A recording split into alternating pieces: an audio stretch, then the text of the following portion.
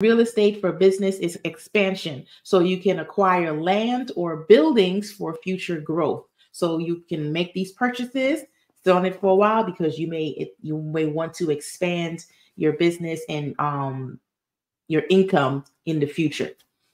So understanding the tax implications. So each type of real estate investment has a different tax implication.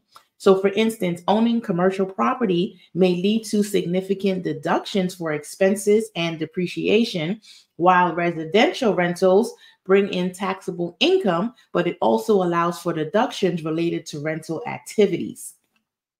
So, leveraging depreciation. So, one of the major tax advantage of real estate is depreciation.